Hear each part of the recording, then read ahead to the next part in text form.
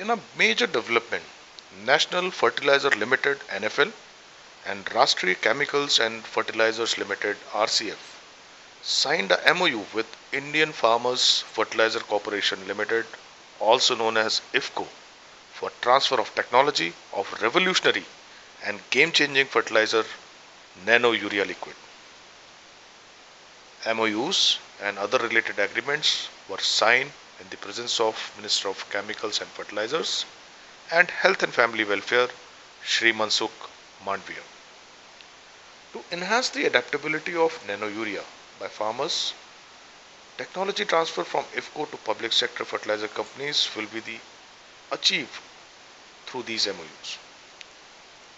This technology transfer will ramp up the production leading towards consistent supply resulting in the faster adoption and would also result in more savings to farmers and government subsidies. Under these agreements, IFFCO will transfer the technology to NFL and RCF. In near future, NFL and RCF will establish new nano urea production plants to increase the supply of nano urea to farmers of the country. Shri Mandaviya also said that signing of these MOUs shows the commitment of our Prime Minister Shri Narendra Modi towards serving the interest of Annadata, that is farmer of the country, and making the country Atmanirbhar in field of fertilizer production. Highlighting the importance of these MOUs, uh, the minister said, the biggest challenge for any game changer technology is adoption, a large scale by common masses. Nano urea is facing the same challenge.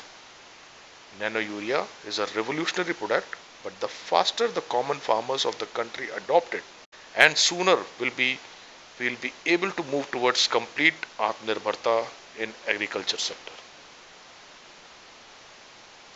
IFFCO started the production of this urea in June and in less than two months, that is till 24th July, it has completed the production of 8.28 lakh nano urea bottles and supplying it to the farmers.